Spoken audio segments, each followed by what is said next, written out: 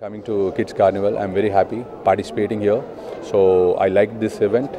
Uh, I wanted to bring my kids also here. So I love this place.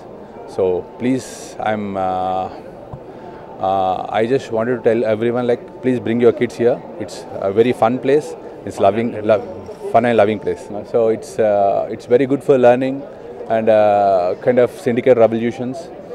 So games, fun, entertainment, everything is here. Fun. So food, we can have food also. That is like uh, good thing also, like 50% good thing. I just told like uh, it's 50% good thing and 50% bad also because I I have two kids. They I have I give them only strict time like two hours for them to play. Uh, uh, two two hours for them to strict on mobiles. So that the, uh, that's the way every parent should do the same way. That will be better for kids and future. Thank you. Thank you.